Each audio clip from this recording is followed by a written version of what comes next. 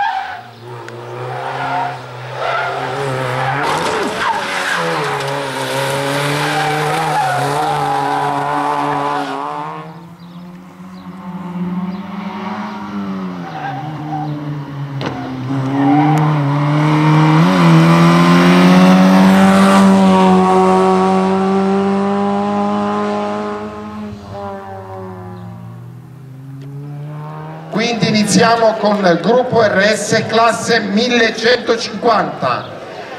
Vi devo dire che è stata una lotta assurda, c'erano quattro piloti in un secondo. Terzo gli scacchi della New Generation Racing su PS100, chiamiamo Fusto Giacomo. Secondo che si sta migliorando giorno per giorno, sempre della New Generation, Salvatore De Senzi. Ragazzi, non vi sento. Forza Salvatore.